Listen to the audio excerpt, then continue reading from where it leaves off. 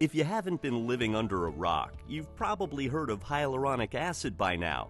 It's a common ingredient in skin creams and serums, claiming anti aging and wrinkle reducing benefits. Are those claims accurate?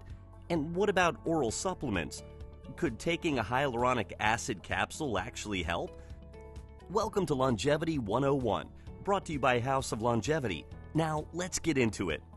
Much like collagen, hyaluronic acid, or HA, is found throughout the body, especially in the eyes, joints, brain, and skin. But what is it? Hyaluronic acid is a gooey substance produced naturally by the body. It's part of the extracellular matrix. Its gooiness makes it an excellent natural lubricant, and it can also retain a large amount of water.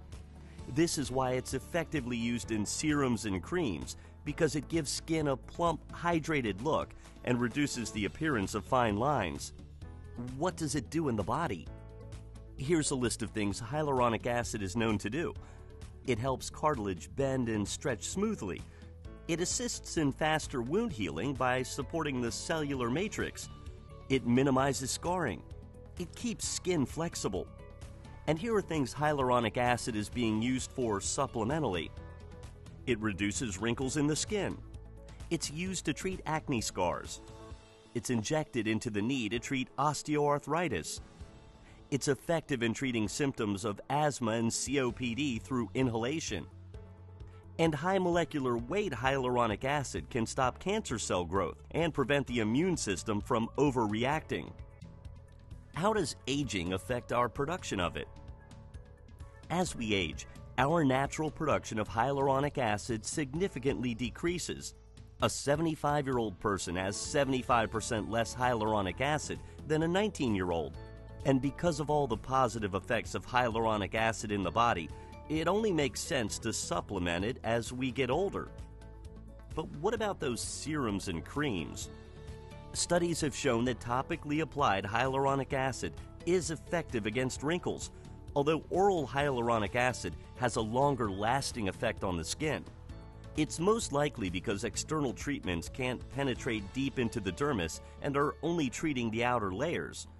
A combination of serums and oral hyaluronic acid supplements would likely give added efficacy to an anti aging regimen for the skin. Who needs it? If you have skin, eyes, cartilage, a brain, lungs, and other body parts, you need it. If you're over 40 and you want to slow down the effects of aging, both internally and externally, it isn't a bad idea to add some hyaluronic acid to your supplement stack. What forms does it come in? As I mentioned throughout this video, it's commonly used in skin and hair care products and can be found in eye lubricants, personal lubricants, capsules, and in liquid form to add to a beverage. In prescription form, it can be injected, inhaled, swallowed, etc. Is it safe?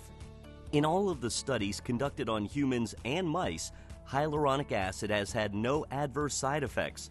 Research has also shown that it's safe for pregnant or nursing women to take. But the information I offer in this video shouldn't replace the advice of a medical professional. Where can I get it? The high molecular weight hyaluronic acid I use comes from DoNotAge.org. They guarantee the purity and potency of their products, and their hyaluronic acid is suitable for vegans.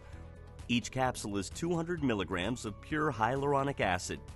There are links in the description below for Do Not Age products and an instant 10% off by using the coupon code STARK during checkout. Conclusion Hyaluronic acid is one of the most studied molecules and has been shown to be extremely effective for skin, joint, and eye health. As I mentioned in my video about collagen, the two seem to go hand in hand, and you can find a lot of supplements that contain both.